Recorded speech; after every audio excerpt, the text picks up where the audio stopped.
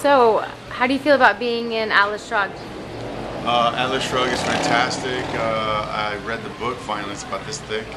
I, um, I had a fantastic time with um, the whole crew and cast. I can't believe uh, it's, it's hitting everywhere right now. The trailer's out, it looks great. A lot of people criticizing it, a lot of people liking it. I mean, no one's going to ever try to please someone that read, like in, in this case, the Harry Potter book and then went to go see the movie. So uh, I would say have an open mind when you go see the movie. I think it's it's part one of the book because the book is this big, it's going to take like an eight-hour movie or a 12-hour movie. This is a two-hour movie for the first part, which I think is, are the first three or four chapters of Ayn Rand's book. Uh, I played Don Don uh, Francisco d'Anconia. I'm so confused. I'm busy doing another film, but Francisco d'Anconia it's fantastic uh, working with on the movie. I mean, it was really it's it's so perfect about what's going on right now in the world. Um, Ayn Rand was to me, unfortunately, the Republicans. I don't want to get political, but some people or Tea Party, some people like to latch on to her words and then pervert it, as they do with the Bible or any other good book or Shakespeare, and make it their own. But I think she was on to something about just free capitalism instead of, uh, you know, Congress or any type of government should not be able to tell a businessman how to run their business.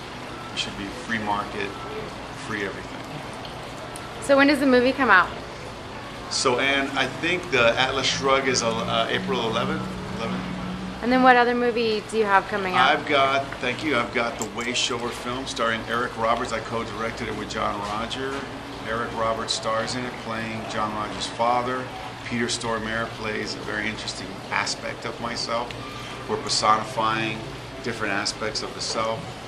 And, uh, and, I, and I'm going to deviate a little bit. I'm really uh, just a fantastic filmmaker like Chris Christopher Nolan, who did Inception, was not nominated for Best uh, Director. And this movie, and I'm going to my movie, I'm juxtapositioning here because a lot of people that a lot of people that don't understand our film, The Wayshower, which is a very psychological kind of thriller adventure, uh, and we certainly don't have the Chris Nolan money. Uh, very much uh, happens with the people that come see uh, The Wayshower. They might not understand The Wayshower because they didn't understand Inception. And I think people that did not vote him as Best Director did not understand the movie in the Academy the Academy members. So uh, no judgment there. I'm just saying this uh, Inception director is amazing. So the Wayshower, we're going to film festivals. We now uh, submitted to the Moscow Film Festival. Eric Roberts is a hero of the uh, Russian people because Eric Roberts is a Russian name. Uh, for those of you that don't know, he's Julia Roberts' brother. I mean, those are two super talented, superhuman beings. So that's it. I hope things work out for both films. My name is Jsu Garcia.